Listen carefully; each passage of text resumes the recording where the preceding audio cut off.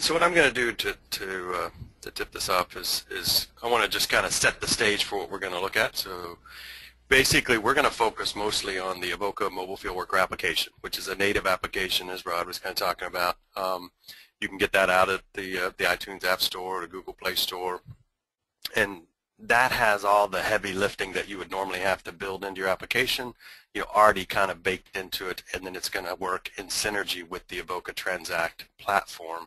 Um, so really kind of removing that barrier, uh, kind of what, what Rod was talking about, you know, kind of making it simple to do. So, so that's kind of the context of a lot of what we're going to look at today.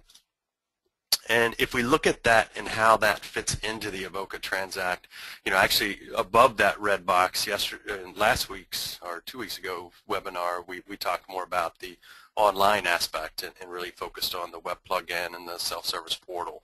Um, but it's all uh, working off of the same platform, right? So transaction manager still managing the transactions both for a field worker installation and a you know portal and web plugin all at the same time, and that composer aspect where you're tying your business closer to the data collection application, it's still the same, right? So that one, you know, transaction or that one form that they build, if you want to call it a smart form, as they deploy it out, that could both be in the field as well as, you know, on a website. Um, you know, it doesn't have to be one or the other. You know, many times there are separate things you want to do, you know, in the field worker case, you may want to to have pictures taken. Um, but you know, if it's something that could be used in both, that form designer could put a rule that says I need an attachment, and on the field worker side, it's it's taking a camera, and on the you know web service self-service portal, it's asking for you to upload the attachment, right? So you can still do uh, you know one and the same. So again, that's kind of the focus of what we're going to look at, and that's how it fits into the uh, into the um, into the uh, platform as a whole. Again, we'll focus on some use cases with field worker, and then we'll kind of back out and look at what it takes to build one of these, because that's really a, a, big aspect to it. So with that, let's jump into the demo. And so what I'm going to do actually is share my screen. So this is actually just a screen. This is just a webcam looking down on my on my um, uh, iPad here, and so you can see the, the native application here, and this is something that we've uh, we've downloaded um, from the iTunes Store. I can launch it, and basically what it's going to do is allow me to log in. You can see in the upper right-hand corner, actually you can't see, I'll slide over. You can kind of see I'm in a connected mode, um, so it's connected to a server, and so the field worker at the beginning of his day or, or beginning of his trip, you know, he's going to do this kind of, of uh, exercise to actually log in, synchronize, and, and pull down. And what we're doing when we do that is we're actually filling this forms bucket with all the forms that we're going to need and can use out in the field. So this is the equivalent of what our um, paper form is, you know, in our briefcase today, right? Um, and then I'm also going to have a task list. This is a, uh, items that have actually been assigned to me by the organization for me to go out and, and fulfill, right? And so, uh, and in this case, you can see um, I've got three items actually uh, already assigned there. And then I've got history.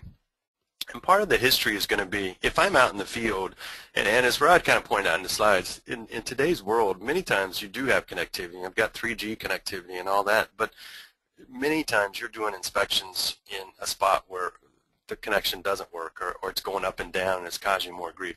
So you have to be able to go offline and that's what this this application is allowing us to do. So it's going to allow us to go completely disconnected. And if I'm disconnected when I fill out one of these applications and save it, it's actually going to store it locally on a secure database and then synchronize back up to the server, back to Transaction Manager once I'm um, reconnected. So that's kind of what we're going to look at here. So let's go in um, we've synchronized up. Let's go in and take a look at our task list and we can see um, three different items. Now again, I created a, a, an organization, if you will, over in Transaction Manager for the user ID that I logged in as, and then and basically set up a grouping that told me what forms I have access to, and then allowed also assignments to to to be made. So in this case, I've got a uh, you know a home visit. So this would be kind of a government worker. Um, I've got a um, well inspection, so, so someone out in the field actually inspecting a, a, a, gas well, and then an energy audit for, for, for a firm who's going to go out and, and put that in there. So I've got a variety of things. This normally wouldn't be in one user's kind of capability, but I created a, a hybrid user, if you will, and, and assigned that to them. So one of the things I'll do is let's open an item. I get a description that can be assigned by the, um, you can either be assigned by Transaction Manager, it could be an API call from one of your existing systems to make this assignment.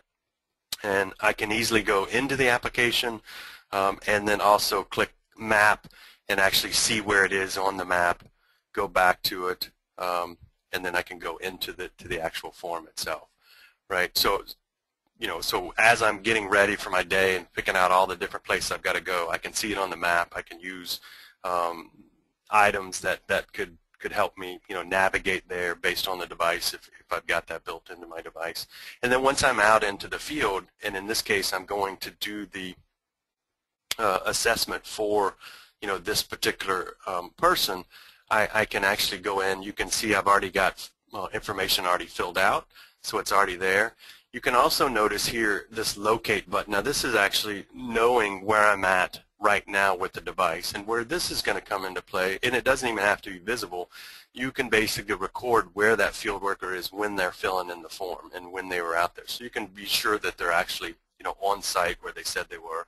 And then from the field worker perspective, if they want to toggle the map um, to, to actually see, you know, more detail, just like we saw over on the other map, you know, I can actually drill down and actually see, you know, that's where it is. And so in this case, we can say, yep, that's all good. I click next, and now I'm coming into the, the actual filling of the form. Now, keep in mind, too, we talked about this um, native application aspect. So if we look at the, the wrapper here, the chrome of the application on the, the um, outer edges, that's really the field worker application. And then this blue area inside, this is really what came from Composer. So this is the business who de derived the navigation pane here, what fields are in there. So they're in control of what information they want to be able to collect in the field and what's going to happen to it, um, as well as rules that go into it. Um, so, so I can come in and start, you know, seeing it was a referral, what time, you know, were you there? The, the controls are going to pop up and say, well, we're, we're there too. This is the owner. And, uh, you know, how did they hear about us? I could ask them. And they say, well, I got a friend that referred me. Um, and then I could start asking the questions that, that were set up there, you know, um, are you are you at home during the, the summer months? You know, so this is going to apply to what we're going to recommend to them as part of this energy audit. Do they have plans around um, enhancing things? Now you'll notice there when I check this, if I uncheck it, you know that that changed, right? So because I said I've got plans, you know, later in in the deal, or I can jump down to it. What are the plans, right? And so so we can say, yeah, we've got them. We're going to do weatherization. Um, we're going to do appliance recycles and and uh, a refrigerator replacement. Um, so you can really come into dynamically building what that wants to be and also reducing the training that's required for your field workers. So the, the form becomes an intuitive, natural part of their work and it's not um, you know, something they have to learn how to do. And, and as they um, you know, answer certain things, required fields are built in, validations are built in, all those kind of things the native controls you see for the type device, you know, are there. Um, so we could say this home was built in 89, type, um, gas leaks present. If I say yes, um, you know, it could it could open up different pieces. You can also see picture of the front of the house. So in this case, I can say, uh, you know, let's take it, and you can see it's actually activating the um, the camera controls. I'll rotate the camera, so now we're looking up at my webcam. Take a picture of that and, and you can see that embeds that in there. Now that also is putting it as an attachment and it doesn't stop me from coming in as part of the application and attaching um, additional pieces. So maybe I want to come in and attach either an image or a video. So say we'll say we're going to do another image and it's going to open the camera controls up for us there. Um, and then each one of those can be tagged. You can define what what is you know the type of pictures that I'm going to allow into the form, right? So you not only what types, but are they required or not required and things like that. So you really get to control, you know, what it is you're looking for. Um, and then as we go through and, and kind of, you know, if we say other, you can see, well, then it's pulling out, all right, well, I want to know, what it is and how old it is, right? But if I say, you know, we don't have any, well, then I don't ask that question. So, so you start seeing the, the whole um, intelligence factor built into the form. So you're, you're, you're you know, really removing the, the training requirement uh, around it. Um, we'll go through some of these pieces. Uh, some of it's just basic data collection, but here you'll notice a, another area that, that you might run into is, you know, how many refrigerators do they have on site, you know, and so you can kind of set the year, the make, model, and, and add as many as you want, you know. Uh, and, and you can see that kind of, of capability anywhere in the, in the form if, if you have multiple row type, type needs. And again, that's no programming to kind of make that, that work in there. And again, just makes it real intuitive for, uh, for the data collection piece. Right, and so you could come through and say, you know, here's all the different pieces um, as they're setting plans up. You know, you could, we, we covered that already. And then you could even come in down to the signature aspects of it. And so now I could come in and say, you know, I, the contractor who just went through, did that, you know, I could come in and actually sign it, hand the device, you know, turn the device over, let the customer come in and, and he could sign it, you know, customer, and put his signature in there, and now, and now we've got it. We both kind of agree to it. If I come in and hit submit now, the application is going to basically tell me that no further changes can be made. Now, had there been, now, as we were going through it, validations were, were happening, but if there were things that we had missed, maybe there was an attachment we needed or something we hadn't done yet, that's going to tell me right here, right? So it's going to stop the submission before I put in there. In this case, it's telling me it's all good, the signatures are applied, and I can go ahead and hit submit. And if I hit submit, what's going to happen there, if I actually hit it, it's going to actually synchronize back up. Uh, so it's going to store in, into the local secure database first, and then it's going to synchronize back up. Now, as you remember, we were already connected, and so you can see it starts the synchronization automatically. So it's an automatic type um, uh, aspect that's going to happen. So one of the, the benefits from doing that is we're going to immediately, if there's something that needs to be um, to be done. If there was some information in there that needed to be acted on quickly, then I'm going to act on it as quickly as possible. So, so in this case, an energy audit, maybe there's an opportunity to sell someone uh, some additional services, and we can act on that quickly. If it's, you know, an inspection of, of a of a home, you know, and, and I find a problem, you know, we could fix the problem quicker and, and, and you know, not have the, the renters sue us and things like that. So there's a lot of benefits um, you know, to, to doing that and getting that information quickly. So that's kind of a one use case, and we kind of you know bounce through that pretty quickly. Um, let's go in and, and, look at a couple other use cases um, real quick. So I'm going to click back on our task list. Uh, one thing we might do is actually you know uh, use in, in the case of like a government caseworker who's going out to visit. Again, you can see you know the, the address of where they're going to go. I could click map to, to, to go to that. Um, and then I could click open and actually go to the data collection application that, that uh, is being asked for me to, uh, to do. So now we can come in and see the, uh, you know, the child services screen. Um, we can see the picture of the, the child. So this is actually pre-populated with, um, with a picture of, of um, the, the child, and so we know exactly what they look like. And, and uh, as we're doing the inspection. And again, we, we're also recording where we're at when we're doing this. And so now if I come in and, and say, now we're going to take a, a, a, fresh picture of the child, take picture, open up the controls, I'll pick it up and take a picture of the, the child. So now we've got our, our child picture, we put it in, and now, now for the records back in the, in the um, back on the server, we're going to have a fresh picture, you know, for the date that we're doing this particular audit. And again, now we go through, we see the caregiver information. Uh, and, and again, what this really drives is, is depending on what you want to collect out in the field, you can control that application and do that really quickly. Um, same here, we, we see um, some, some tasks that were given to us um, to do for this particular visit. So these were as a result of the last visit where I'm supposed to check grades, get a copy of the report card. Um, so I could actually take a picture of that, attach it with the attach tab, and then say, yep, I'm done with that piece. And then I could start going into my, my visit information. Say I did it unannounced and, you know, all kinds of information around that. Um, but, you know, again, it's very intuitive to use, so it's going to ask base questions, and then if I come in and answer them different ways, then it's going to ask additional questions. Where if I answer it other ways, I'm not going to see that, right?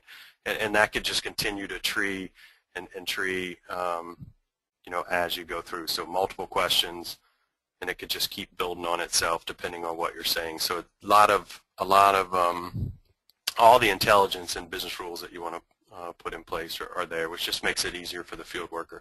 And it also increases the adoption rate for the field worker to want to get rid of their paper and use uh, a tool like this, right? They see it as a huge advantage to themselves, right? Because they're they're they're getting items pre-populated. It's intuitive. They don't have to worry about filling it in wrong. And from the organization perspective, you're making sure that the data is clean as it's coming back in, right? So it's a win-win across the board. Um, so again, I could follow all the way through, uh, you know, this particular guy, uh, submit the, the, piece, or I could even come in and say, look, I'm going to save and exit. So we'll save where we're at. Maybe we're breaking for lunch with the, the kid. We're going to run, get something to eat. I can do that, and it'll just park it. I can come back and complete it, um, you know, as we need. Similar uh, aspect, but a little bit different look to the uh, to the application would be uh, this this one that we did. Um, so I'll open this up. So this is more of a change of role. So this would be someone actually going out into you know very remote areas. Definitely have to be offline to to be able to do this. Um, and you'll see the navigation on this guy changed a little bit. Um, across the top, you can see the, uh, the the menu. So so I can you know just tab across that way. And again, we see pre-fill uh, as I'm filling it out up in the top right corner, I'm seeing you know who I'm filling it out for. Um, but as I move through, this one, as I as I start in, inspecting the different sites or, or, areas of the site, you'll see it's actually building the score for me as we're going through. So all the calculations and aspects like that are in there. So I've got a score. Um, you know, I could say that's satisfactory, you know, satisfactory.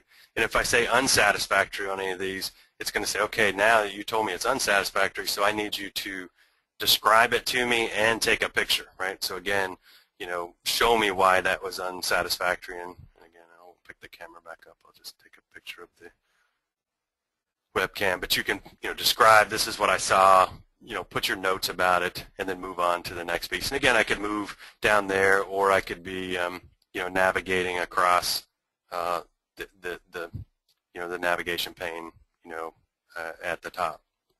And again, we could come in and get to the end as the inspector. I could sign it, or I could have the the well manager, you know, whoever the required signatures could be. You know, I could put those in place, hit submit, and then it's going to tell me no further changes, and I could go ahead and submit in.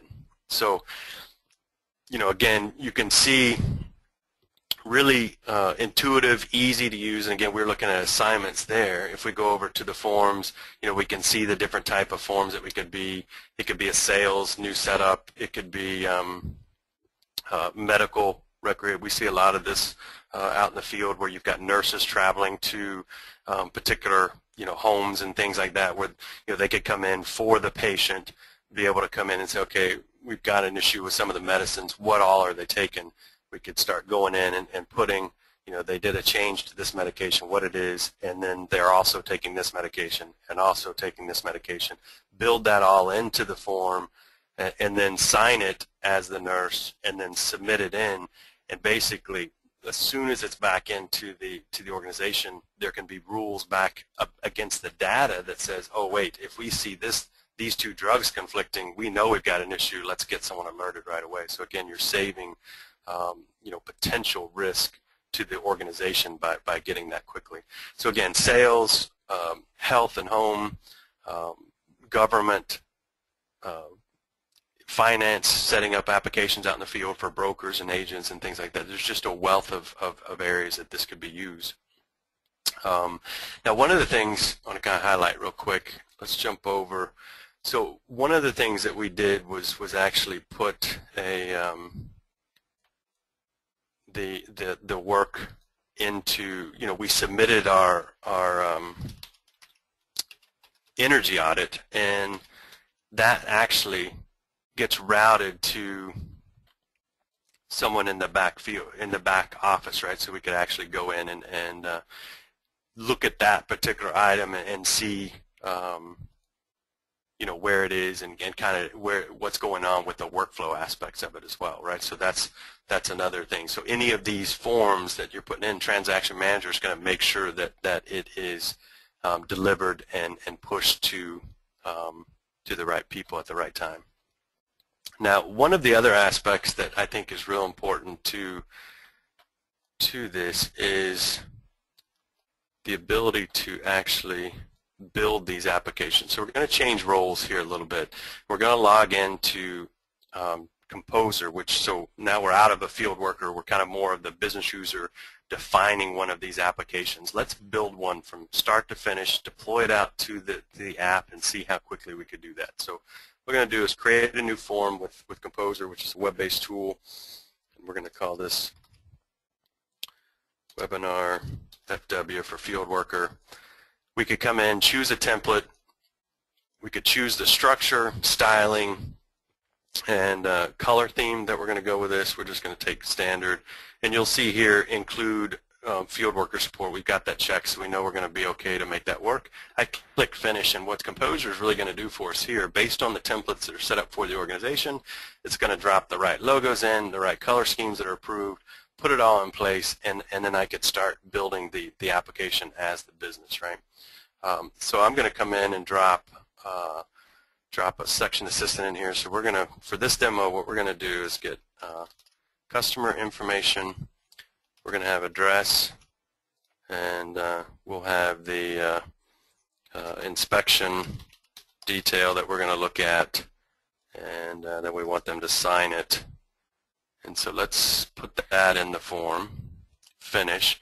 And what we'll see is it drops those those particulars in there. It already gave us an instructions. I'm not going to take the time to build instructions for field work. I'm just going to take that out. Now you can see here the structure is what's in the form. The middle um, aspect is what uh, a wireframe rendition of what it may look like. And then over here is my palette of things that I can I can drag onto the form. And when I drag onto the form, I can drag directly to the to the wireframe, or I can drag to the hierarchy uh, where I want this to be. So we're going to put name here, and you know, for the address, let's come in and, and we'll grab a pre-built block. We'll drop that in place. These are these are reusable blocks that um, that are at the organization level and they're inherited. So any changes to it, I'm going to inherit the changes. Um, so we can see that in there. Now let's put a yes/no question on our inspection. So we'll say, um, is area clean? And uh, we'll drop that in place. And then we want them to be able to sign it so we'll pull up, um, here we're going to sign on the glass, so we're going to give them the signature pad widget. We'll put that in place, and now we've got our form. So really, this quickly, I could now start working with um, you know, my business sponsor and say, okay, you know, here's what the form's going to look like, right? And so I could preview this inside of the, the, the Composer application in PDF, um, in uh, HTML for, for uh, desktop or HTML for um, mobile devices. So here I could look at, and they may say, you know what, I don't really like this blue. Is there any way we could keep this from um, from scrolling? You know, so we could come in and change the, ad, you know, on the fly really, and come in and say, okay, let's make this a uh, wizard top tab, and we'll change the color scheme to be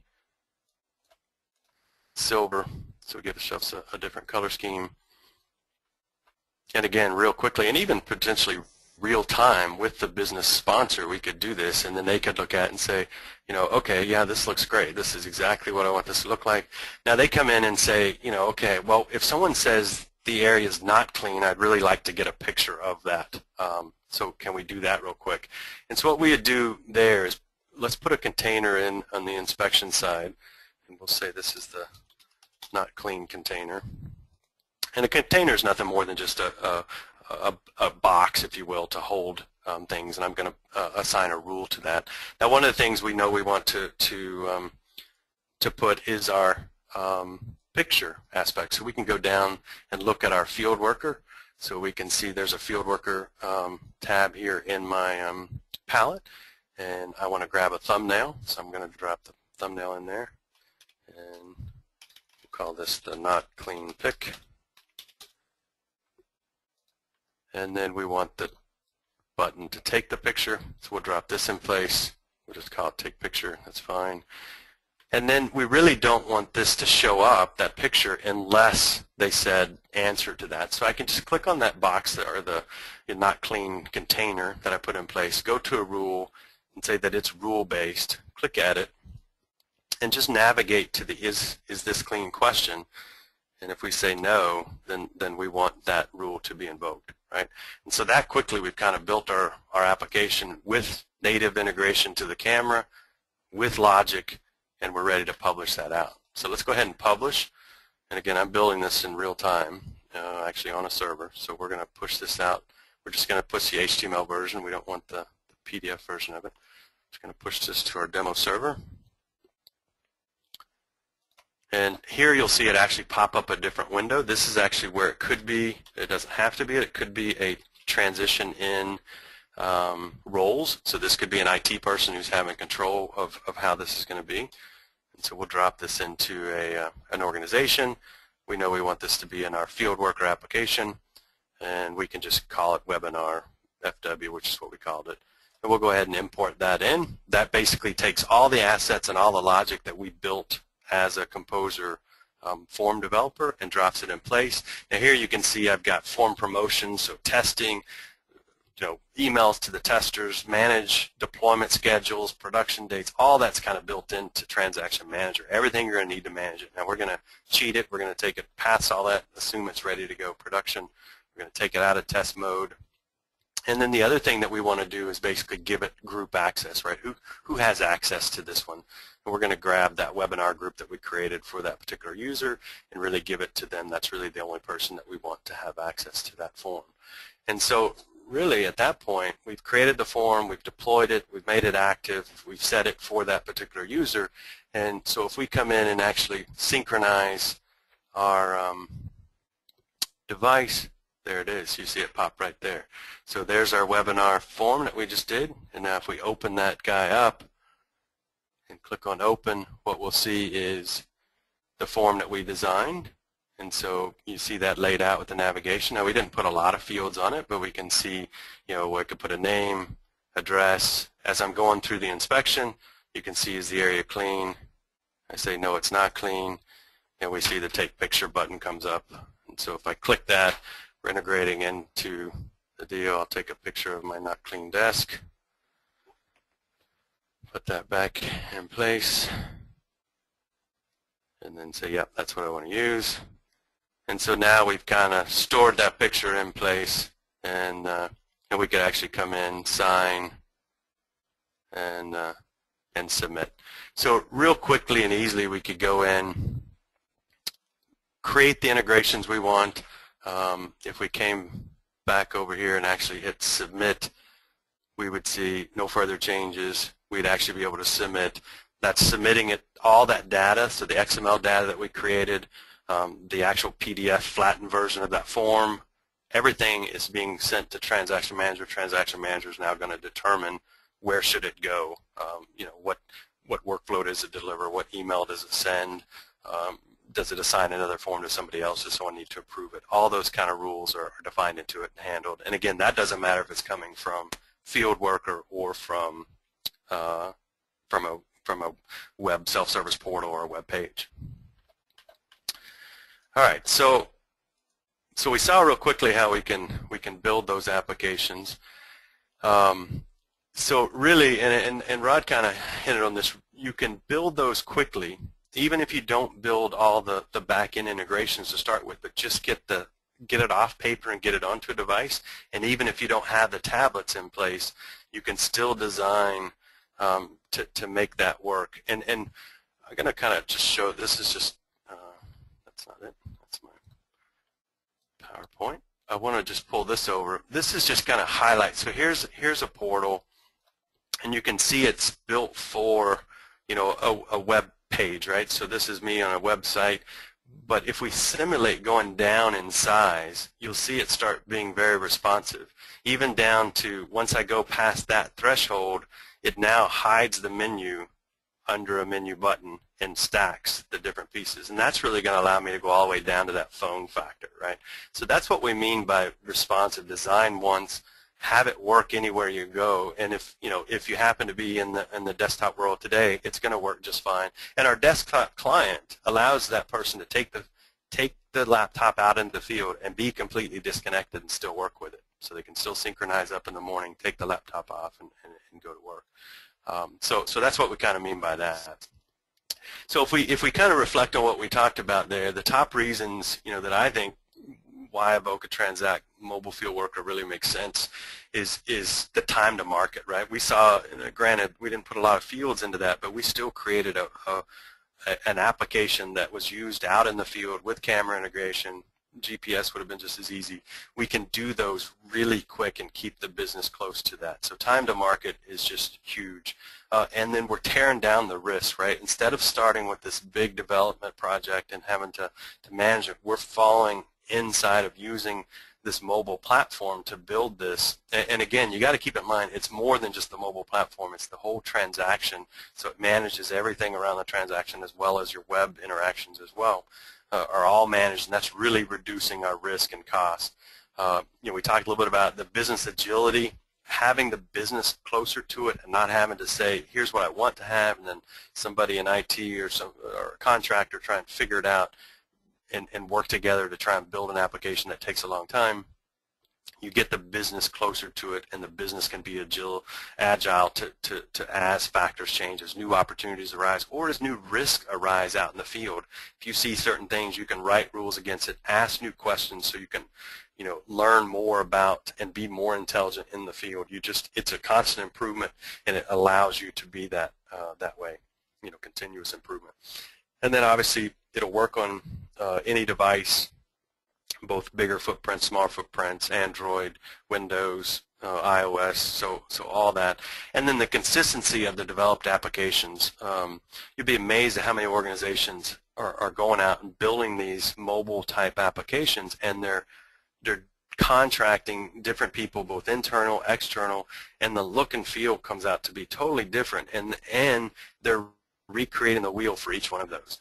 And by taking a platform like Avoka Transact and taking advantage of all the things that are built in to handle the complexities around attachments and uh, you know the integration points and business rules and logic around that and leveraging the platform along with the templates that you're going to provide your builders you can now control your brand as well as the type of functionality, right? So you're not recreating signature, you're not recreating attachments, and all your look and feels are going to be approved. Um, you know, the color schemes, the logos, the you know, the menu structures, all that can be approved and then given out to the different people in the field. And there's not saying you have to have one. You can still have multiple looks and feels, but it keeps you from having, you know, people going completely off on tangents. So it really gives a consistent, um, you know, look and feel of the applications and, and a consistent brand for, you know, your organization and your users, right? It just makes it easier for you know, your actual customers and, and people accessing, you know, your forms via website or your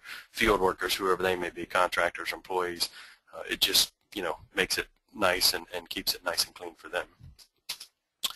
And then if we kind of talk about some of the things, you know, I, I ran through numerous examples and showed different forms. These are just some of the, the responses that we got as we've done case studies with, with our customers.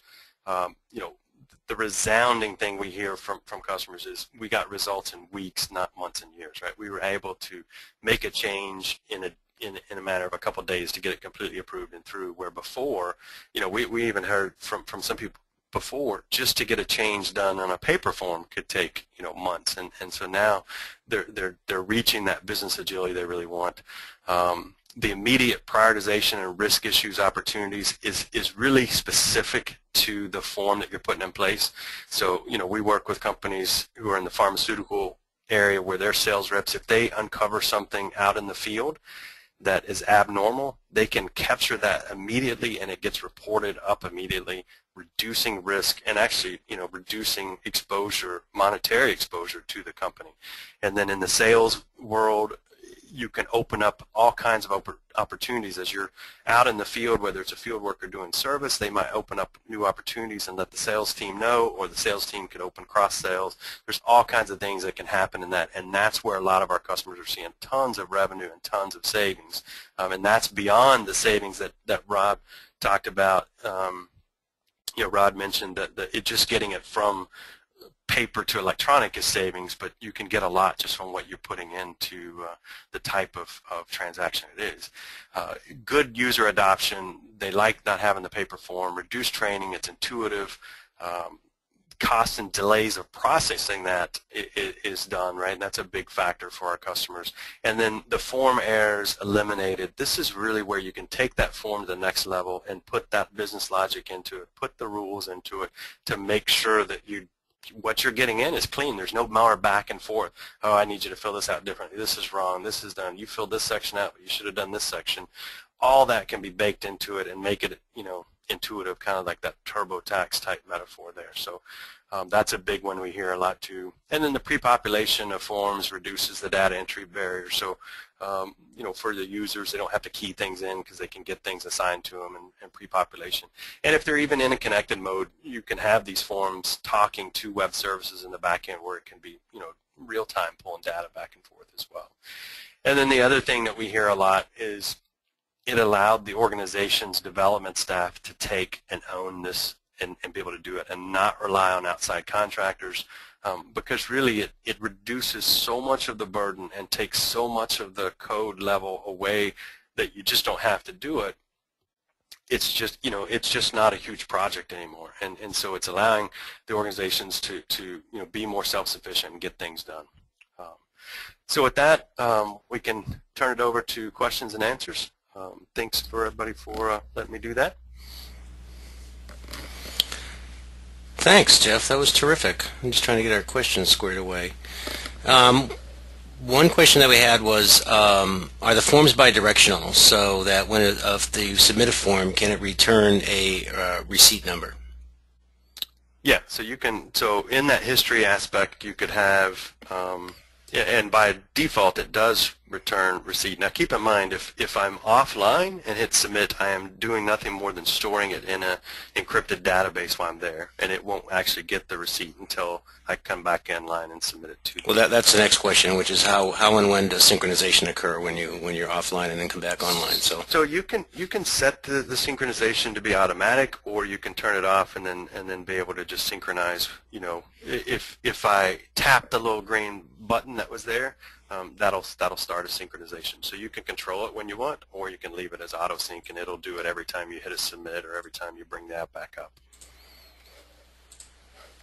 Uh, next question. And so did we answer the receipt number question, the bidirectional one? Because I sort of vectored yeah, you off into, okay. I, I, think so. And you mentioned that there are benefits even if you don't integrate into back, back-end systems. Could you um, expand on that a little bit?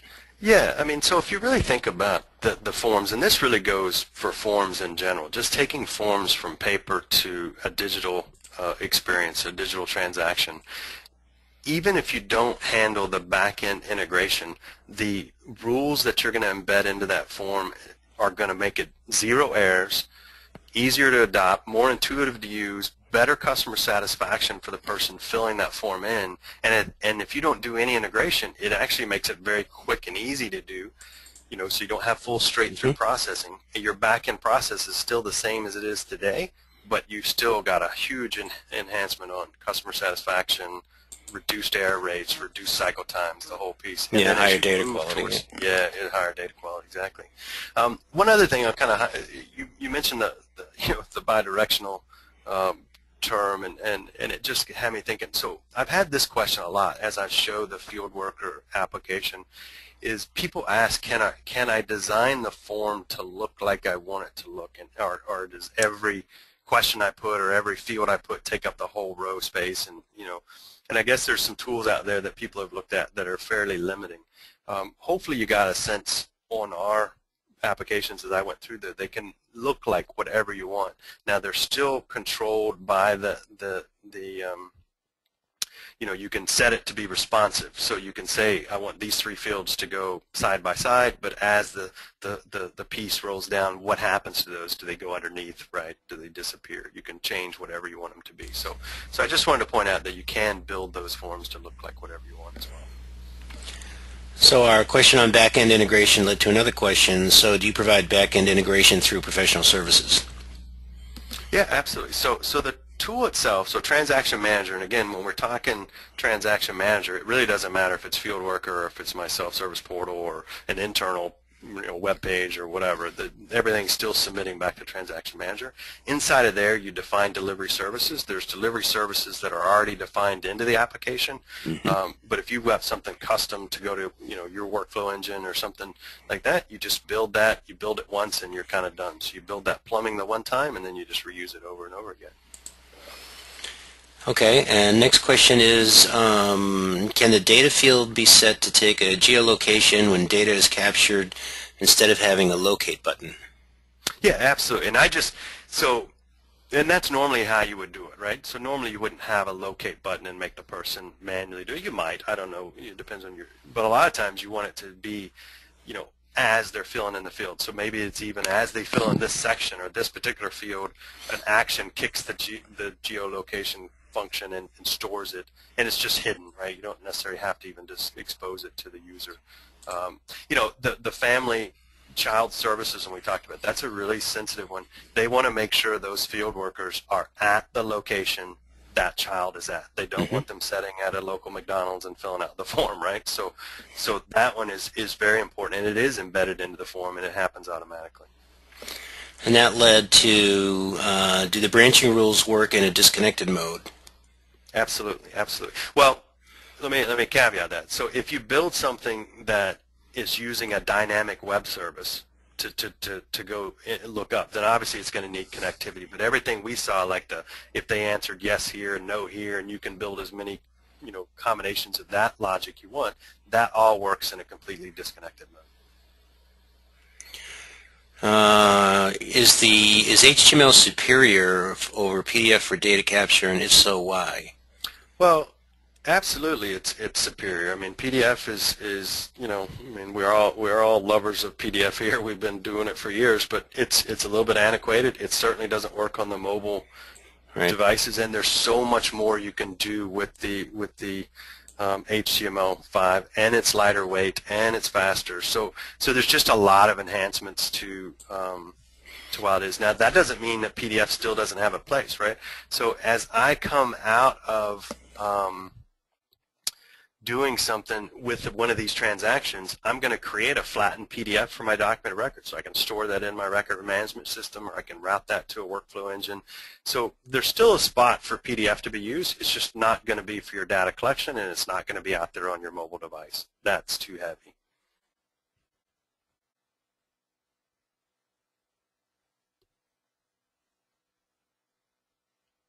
Still there, Red?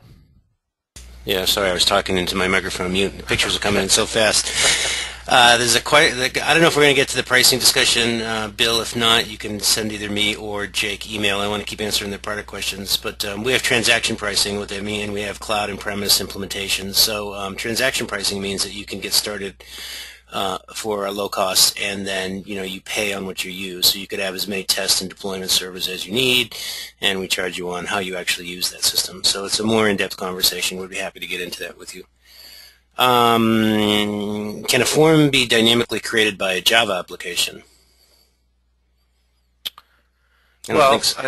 I, yeah, I, I mean, I guess anything. It's not built into the application that way. That's not what it is. I mean, I showed you Composer, and, and, and the benefit there is it's it's a graphical tool that makes sense and allows the person to dictate that logic in there, as mm-hmm. opposed to trying to build an application that would do all this. You know, we've kind of already built you the application that helps you lay it out and define those rules without having to do any kind of programming. So I'm not sure exactly why you'd want to do that, but um, it's not there right now by, by design.